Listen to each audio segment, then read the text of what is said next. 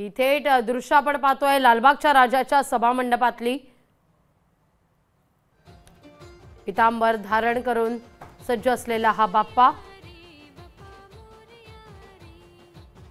तब्बल एक तास महाआरती झाल्यानंतर मुंबईच्या राजाला गणेश गल्ल्यातून बाहेर पडण्यासाठी लागलेला आहे.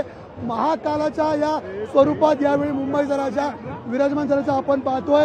त्याच्याखाली महाकाल महादेवाचं रूप असेल राक्षसाचं कुठेतरी वध करताना हा महाकाल आहे आणि त्याच्यावरती ही महाकाल रूपी मुंबईच्या राजाची मूर्ती आपण पाहत आहोत. आणि एकंदरीतच जर पाहिलं असेल तर याच उत्सव मूर्तीच्या पुढे जी मूर्ती ज्याची पूजा केली जाते ती विराजमान आहे. आणि अवघ्या तासाभरानंतर आता ही प्रमुख मूर्ती आहे ती बाहेर पडलेली आहे. पुढील वीस ते बावीस तास ही विसर्जन चालणार आहे.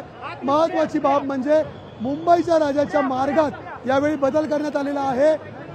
या ठिकाणाहून गणेश गल्लीवरून बाहेर पडलेली मूर्ती डॉक्टर बाबासाहेब आंबेडकर मार्गे चिंचपोकळी उड्डाण पुलावरून आर्थर रोड जेल मार्गे नेहमी मार्गस्थ व्हायची मात्र आर्थर रोड जेलच्या या ठिकाणाहून न जाता यंदा ही मूर्ती बकरी अड्डा मार्गे जाणार आहे.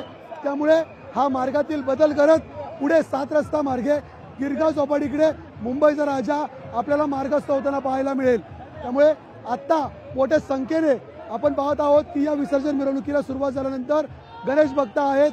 ते या विसर्जन मिरवणुकीत सामील झालेले आहेत. कॅमेरामन हमीद मस्तानसह मी चेतन नावरे गणेश गल्ली मुंबई. लोकशाही मराठी.